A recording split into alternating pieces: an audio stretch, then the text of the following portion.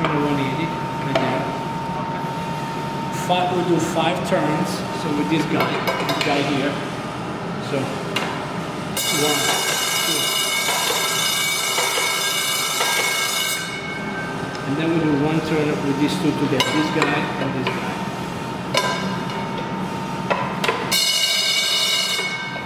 Done. Okay.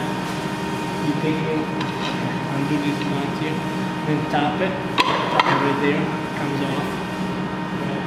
What we do, the wipes, put it right here,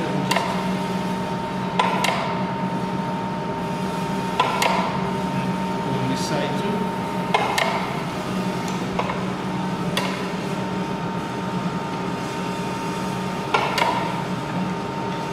Then then for the cleaning at the end, I use a tweezer like this guy. Come and I come through here in the back. We're gonna go on the side. Done. And you got it. There. And then there is a tray here that can hold the stuff. Oh, and I take a visual inspection even up here. See, sometimes after cleaning, it's good to uh, you know take a look up here too. Obviously, be careful here. The blade is off. The blade is exposed.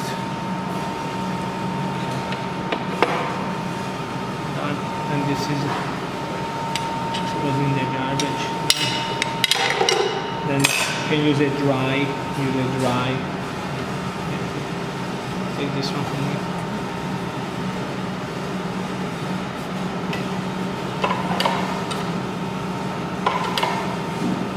Or there, there's some some right there actually.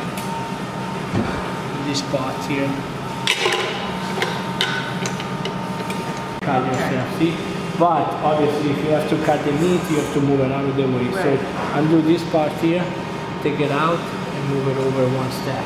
Right there. See, and now it is a, but you know, at least you're safe. The steel ball spring loaded, you just press it down like that, mm-hmm. and one, just one drop. See, right there, done, done. One right there, okay, right there, there, done,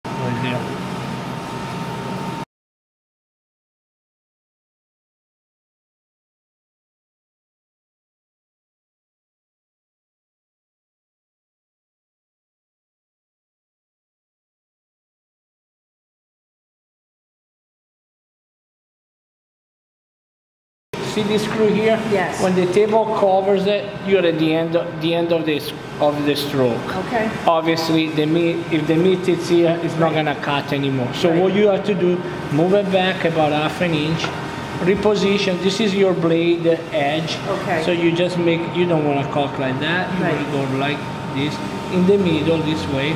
And you try to be nice and square. You- In fact, in fact, I square it off here. Okay. See right there? Then this is articulated. If you have a cut that is not uneven, I'll follow it, okay? So you go down the, I don't clamp it very hard right now because uh, I'm gonna, and if you come on the side, what I do most is touching the meat there, but it's not touching there. Look at that, okay? So what I do, I just line it up like that, okay? See that? Yep. Hold on. And then clamp it hard, there. And now I'm more even, okay? So bring it closer with this knob here. See, you can turn. So I'll, I'll go close here. Just before it touches it. And now I'm gonna start to turn. Yeah. See, uh, Maya, can I have a little catch pen? Yeah.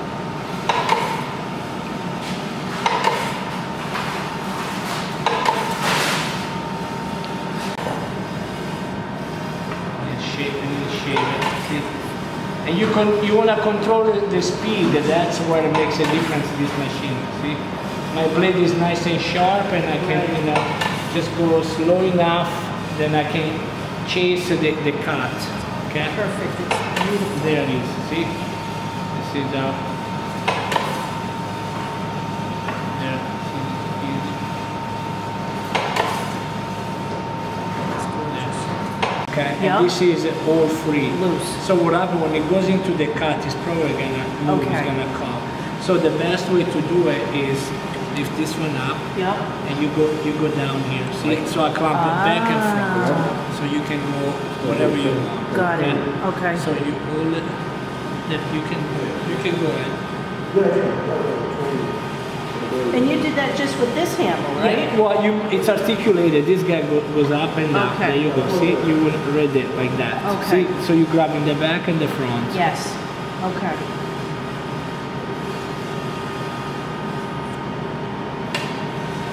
Okay, now I have to go up more in the, in the back. Okay, if you wanna angle, uh, you got it. Okay. Yeah, yeah, yeah. You Okay. got the good idea. You, the idea is correct.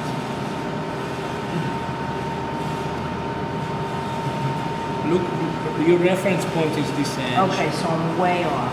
Yeah, but, but just for the line up.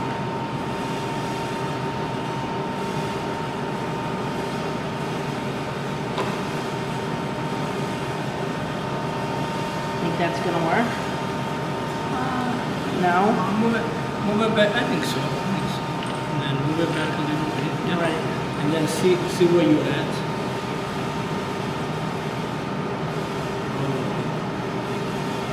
Yeah, right?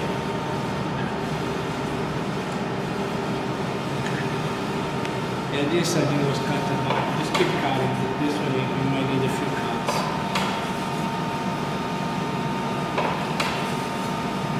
It's working out pretty good. We'll look at that.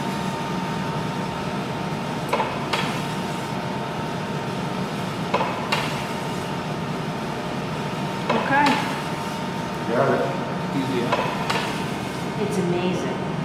And the blade is still, I can see how it's starting to get, um, okay, all right. So I got it.